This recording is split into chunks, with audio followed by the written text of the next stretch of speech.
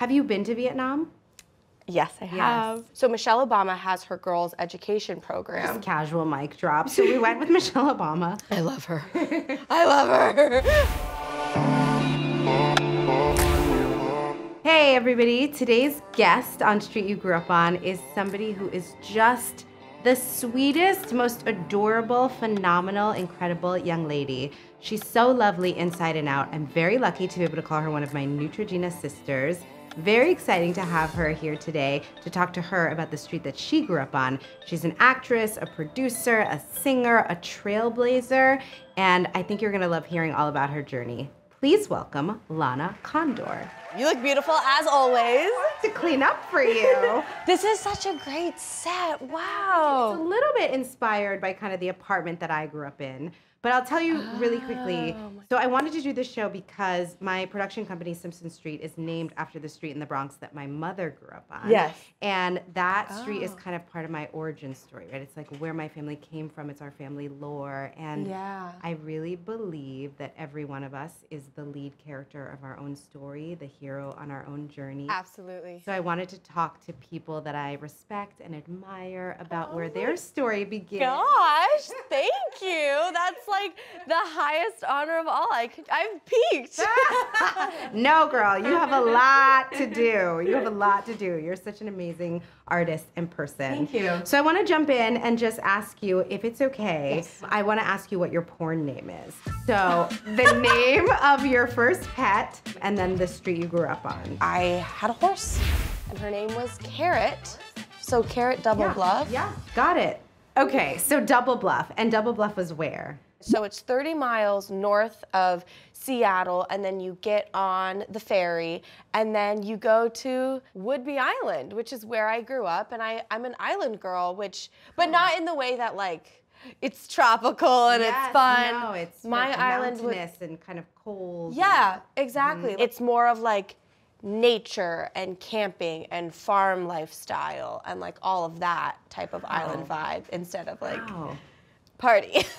Okay, so Double Bluff, tell me about this. Did you grow up in a house? I assume not an apartment, a house, right? Yes. Okay, and what was that house like? I'll always hold it so dear to me. It was like tucked on the bluff of, of Double Bluff. It was almost as if the landscapers had like just kind of plopped a house in the middle of the forest. Mm. And so we had beautiful views of Puget Sound, but then everything else around us was just the forest on top of the bluff. My mom had curated it with all of like the different things that she had got through travel or like we're a big like hand-me-down family, so like a lot of special trinkets that like her mom and her grandparents had kind of helped furnish our home, which is now I- ironically, and I guess not ironically because this happens, like I just got my first home and every, basically every piece of art, you know, cookware and furniture is now hand-me-downs from, From her. Yes, from that house. So even though we don't have that house anymore, I still have like memories and mementos of it mm. because I that's how I get to wake up in the morning. I'm like, oh, that's how I grew up. How did your parents find that home? How did they find that island? Are they from that area? No. Well, my dad is like very much. So he's a journalist. I picked. I've moved around a lot. Okay. But I picked Double Bluff as my street I grew up on because my formative years Love that.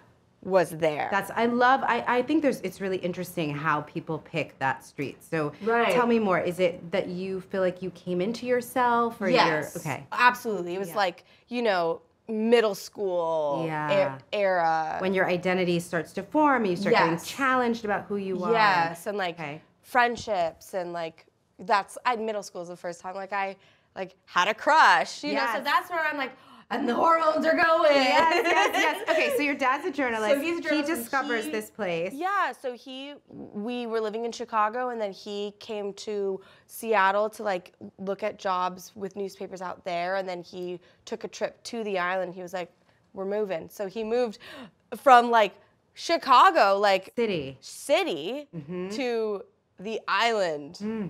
Mm, Rural, of nowhere. rustic. Yeah, Yeah. like so rural, so rustic. But I, I really genuinely think that that move was so integral to like my development as a young woman and like my personality and and what I, I value because there it was like you were playing in the woods all day. I was like mucking poop for fun, like Mm. at, at the stables for fun. We had a black and white TV. Like you did? So, yeah. In which- what year? My mom brought this black and white TV like with her through her life and then just kept hooking it in. And I'm like, Mom, I need some color. I need some color. Although looking back, I'm so happy I didn't have Hmm. technology in my home. Like we were pretty strict about like we didn't have phones. Like we didn't do any of that. It was very rural. No phone. You mean like not cell phones? No You had a cell phones. phone. Like we had a house phone, Yes. but my brother and I didn't have a cell phone because we were out like playing in the woods. So you had crushes. Did you mean like at school or like on television and movies? Like I'm wondering who, like, what were it, being that you're a bit of a rom com icon, um, being one of the first Asian leads of a rom com. Thank you. Did you have your own crushes that that were from movies and television shows? Did you have posters in your room? I mean, not really, because we didn't really watch that much film and television. You mean IRL crushes? I had IRL crushes. Like, Wow. I think being on Whidbey made me grow up slowly. Mm. It was like I actually feel like I had a ch- proper childhood in terms of the speed of it all because I, I think about like my cousins these days or just like young like people in middle school and high school Yeah. Grow up so fast it feels like sometimes you know because of many reasons but social media and just technology in general and so i feel really blessed that i was able to grow up at the right pace Mm, for you. for me for me Yeah, you know What were the subjects that you loved in school when you were living on Double Bluff? And what were the foods? What are the foods that when you smell them or taste them, they take you back home? my favorite subject was always um, like social studies and english so like writing reading breaking down novels and social studies because i have a curiosity about the world around us you know and then And foods, are there any foods that when you smell them or when you taste them, they immediately take you back to Whidbey Island? Oh yeah, um, mussels, clams, oysters, and crab and king salmon. So, Wow. like the, some of the most famous mussels um, in America are Penn Cove mussels, and uh, the Penn Cove is on Whidbey Island. And so we'd get super fresh mussels, and then my brother and I, before school, we would throw in a crab pot, and then after school, we'd go to the ready. crab pot, crab pot, bring them to my mom, and she would like boil up the crab for dinner. Wait, explain this to me. I don't understand. I thought you meant crab pot like you were cooking them in a slow cooker. That's not what you meant. No. So you throw in. So This is like the- imagine. the, girl from the Bronx meets the girl from Whidbey Island. Yes. I'm like, what? so imagine Artie and I, about yay tall. Yes, We're so going to like middle school in the morning. We have our crab pot, Yes. which is like a cage. And inside the cage is raw chicken. Okay. And then you throw it, the cage, off the pier. And then by the time school's over, we would walk back to the pier, pull it up, and then hopefully have a lot of crabs. Because the crabs were attracted to the raw chicken. They were Yeah, like, "Nom, that's nom, what mm, they would eat. nom, nom," And oh, that's amazing. Yeah. So I want to know more about your bedroom. Like, what was what was I want to know about the house itself. Like, what was your bedroom like? Did Oh, you have yeah. a favorite room in the house? Oh, my bedroom was my favorite. My mom surprised me because I, I was like a scared kid, so I like stayed in my brother's bunk bed for like a Oh, while. You guys shared a room for a while. No. Oh. He had I had a room and he had a room, but I was just too afraid to be in the room by myself. and he let you be in there with him. it was more of a didn't he didn't really have a choice. After he was sleeping, you went to his room. And so Got for it. the longest time, I like slept in the bunk bed, and then my mom was like, "We got to make sure she feels like she has a safe space." So she painted all of the walls teal, and she put up all of these really sweet flower wallpaper mm. and pictures of horses because I obviously I was like very into horses and like a beautiful bookshelf and like an old antique vanity that her grandma had. And so it was like it's so beautiful. Like I, I, I still have it. I still have it because it was just such a nice thing. And then she made this like princess bed, which was like pink covers and then like a little canopy that had um, butterflies on the canopy. Oh Because I think she wanted it to feel that I had a space for myself that I felt safe in and that magic was possible. It was really magical. Did it work? Did you feel inspired? Did you feel like anything was possible with all of that? I did. We're in this stage where they're they're always going to be my parents, but we're in this weird the weird stage of like now they're my friends. Yeah. Which is the most amazing stage of life uh, for me at least, but I wanted both. I wanted a parent and now and now I get they're like my best friends. What was your relationship with your brother like? So we were both adopted. Um, we're not biologically related, um, but we are from the same orphanage. Are you from the same part of the world? Yes, from Vietnam. Okay. Yeah, and so we aren't biologically related, but when my parents came to, when they were looking for a child um, and, and hoping to adopt, they actually were trying to just go for one girl, but then they fell in love with Artie, and so they're like, oh, surprise, we're bringing two home. Wow. Um, yeah, and that's a whole other story, which I would love to share, but we're so close in age. He's like four months older than me Almost twins. almost twins and when we were younger you know you're in the same class you do all the same extracurricular activities Right. we often would just tell people we were twins when we were younger because we didn't want to like go into the well I don't know like the this whole story. Mm-hmm. so because i think we were so close in age we were super close when we were like babies and then by kind of like you know sixth grade we were just not close at all if you do the same thing and you're always together and we're always competing it was just like a nightmare and then eventually when we moved to new york um, he ended up like going to his own school and i ended up going to mine and our relationship got better so Have you been to Vietnam? Yes, I have. I yeah. have. We always wanted to go when like it was the four of us together, like you know when we were younger, because my parents always wanted to like basically show us the journey in which they went on to find us. They went to Vietnam. Yes, I get so emotional on like Father's Day and Mother's Day because I'm like, I like dedicate the day to being like, like thank you, thank you so much for choosing me. Like, and my parents always say like, it wasn't a choice. Like they always are like, no, this was like always meant to be, and like the moment that they saw us, they knew. But to me, I'm just like so grateful to them. I wouldn't even be in America, let alone like here speaking with you, you know. But like they gave me this just incredible opportunity to to have a life that would have been like not even in my wildest dreams had I had I not been um, adopted. You know, we always tried to go, but it's a long trip, and Yes. you know, with two kids, life gets in the way. So Michelle Obama has her girls' education program. Casual mic drop. So we went with Michelle Obama. I love her. I love her.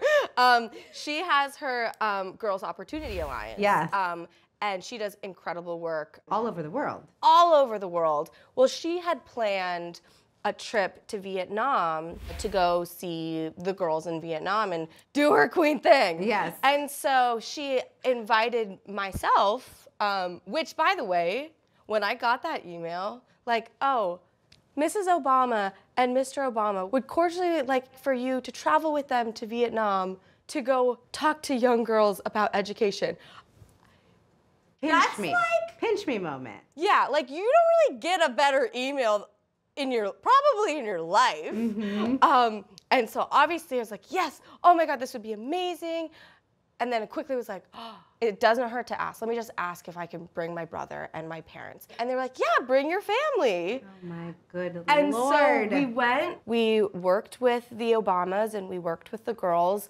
Um, and, and then after that portion was done, we went off on our own and we connected with the manager from my orphanage. He picked us up in his truck and he brought us through the exact journey that he drove my dad and my oh mom on just to get to us. Were there things about the culture or the food that felt like home for you, or did it all feel new and foreign to you? No, that's a great question. I've actually heard this from a lot of people who visit their home for the first time. The moment I stepped off the plane, my skin felt so good. It felt like supple and like moisturized. The humidity, my hair f- was so strong. My vision, honest honest to God, felt like it was like clearer and my heart, it was like the calmest mm. Like I a had peace. felt a huge peace. And so the moment I stepped off the plane and felt like my entire body settle, I was like, of course it would do that. Like I was born Here. here in this climate, in this environment. What was different when you went back to Double Bluff after that trip? When you did, how did how did it change how you saw the street that you grew up on? After that trip, it took me probably like weeks to even like unpack it because it was such a life-changing like seeing where you come from. Mm. It was definitely very humbling when I came home because we have a very stark difference. Everything is different, I think, in, in at least where I was in You Vietnam. mean an awareness of privilege? You get a deep awareness of privilege. I had, a, it was a weird emotional journey trying to unpack feeling like when I was standing in front of the orphanage and like also seeing the community and the homes and the houses around it. Like, why me? Like, I, like, why? Because you see so much suffering and you're, and you almost feel a sense of like, you almost feel guilty survivor's guilt. that was a weird, interesting thing to unpack going back home to Double Bluff. I think I'm unpacking it with you right now. Great. I'm like, this great. is I'm like here therapy. For it. I'm here for it. I have a scholarship with the Asia Foundation where I put girls through um, secondary school. I have 11 girls right now, and they're doing really, really good. And I got to visit them. We met when I was in Vietnam, so I, I was able to get all of the 11 girls together and meet them and like ask them like, how are you doing in school? And they take their education so seriously. Like it was so inspiring. Like I, so inspiring to hear. And they're like, most of the, all the girls' favorite subjects was math. And then they all love music and Coca Cola. They're like, we love math, and then we like to go for recess and listen to music and drink Coca Cola. So, with my weird, with my feelings that I'm still trying to unpack, I did develop this scholarship because I was like, I need to give back. I have to give back. What are we doing here if we're not? Right? We are so lucky to be in the industry. We are so lucky to have this job. But like, I am nothing if it's not from where I came from. It's like, I have to pay that back Yeah. and pay that forward. And these girls are just so cool. Give the opportunities that you've been Yeah. blessed with to Yeah. others. I'm I was so I'm so grateful to learn about that because you know this season on Street You Grew Up on we have some resources Yeah. where we're able to share funding with our guests to be able to pour that into what they care about and it's Yeah. so inspiring to hear where that money's going to go for you. Yeah, I mean that's uh, that was another reason I was so excited to be on your show because I was like, oh my god, not only do we get to have a fun time and share stories, but also like now there's gonna be you can't really quote me directly, I'd have to see, but now there's gonna be at least five girls that get a full education from from your show alone. Oh my And it's amazing. So that stipend is all of their textbooks. They get a bike um, to Mm. um, ride to school because transportation is kind of limited. so that's freedom in and- a lot of ways that bike. Yes, transportation is really a big reason why a lot of girls aren't getting educated in places like that. And so the bike was for that, and then they get rice stipend, and they get their uniform, and they get all their books, and and they and they get it for all of their secondary uh, schooling. So, Rana, so that's your show is gonna be great. So, so little Thank do they know, like, oh my gosh, she, she's sponsoring me. Thank you for letting us be a part of that. Yeah. Can we play a game? Yes. Okay. I want to play a game where I have a bunch of pictures Okay. about of you from Okay. your childhood when you lived on Whidbey Island. Okay. Um, and I want to ask you to tell me what is happening in these pictures. Okay. Okay.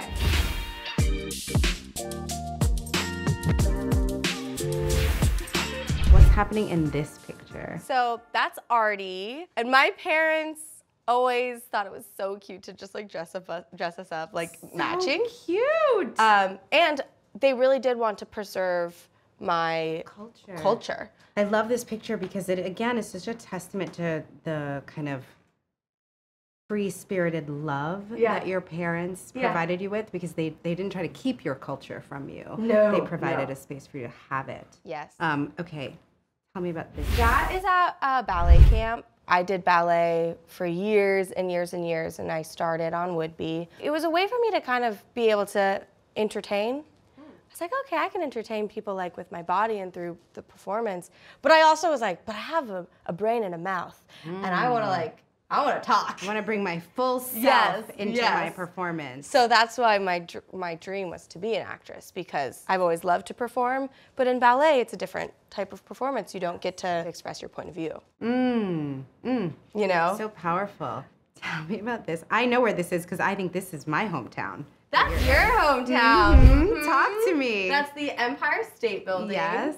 And that is my first press tour. You know how they like they get let you go up there and to, onto the Empire State Building, and then they let you go to the very top. Very top, That like yes. no one gets to go to, and you kind of you actually do feel like the king of New York. Yes. you know that was my first acting job, and so I was very much thrown into like it was like very much a sink or swim situation. Like I thought you had to pay for crafty. That's how much I knew nothing. I was so green. I didn't even know a press tour like was a thing. Like I was like, oh, do I need like I could I'll just do my own makeup. Like do I need to like I'll just like wear like what's in my suitcase. Like I didn't know anything, and so this picture is kind of where my life started to change. Hmm. Yeah. I just have a couple more questions. One, so you've brought up the beauty stuff, being able to do your own hair and makeup, which a lot of dancers are great at. Yeah. But talk to me about what beauty meant in your home growing up, because you are such a beauty icon. It's so fun to work with you at Neutrogena, and I know you're such a role model Thank for you. so many young women, for so many young people around your beauty and what you bring to the table. And so, how, what, how was beauty talked about or thought about in the home you grew up on, on Double Bluff? I wore stage makeup when I was dancing, right? But physical beauty was not something that I ever cared about. Like I I was very much kind of a tomboy. I was very I just wanted to play in the woods. And mm. you don't need like a red lip. You can have a red lip if you're playing in the woods, but like for You me don't need one. You don't need one. Beauty in my home definitely started from like are you happy with yourself? Mm. Do you feel comfortable in your body? Mm. Beauty definitely came from the inside. My parents are amazing, and they were really awesome about that. So it was more like, do you feel beautiful today? I, I feel I feel really happy, you know. Mm. So it was more of the inside, and then I think as I got older, and of course now we're in the I'm in the entertainment industry. Beauty for me now has obviously changed because of simply kind of the job that we are in, but it's still very much like starts from within. But I will say the one thing about beauty that was always a part of my double bluff routine was like sunscreen. Oh, Because my mom preach, is like, preach. yeah, it's all the sunscreen. Because I wear so much makeup for work, Yeah. when I'm not working, I'm like, Me put on my too. sunscreen me and too. let it go. Like, little lip gloss, I little know, sunscreen. it's so nice. I Yeah. get excited for those days. yeah. yeah. Um, so my last two questions are: Is there anything? I mean, in a way, I'm interested what you'll say about this because you do have a lot of your life growing up on Double Bluff in your life today. Yeah, Whether it's like for sure. actual furniture or just the values of that place and what Yeah. it meant to you. But is there anything when you think back and you're talking about it from your childhood that you wish you had more of in your life today?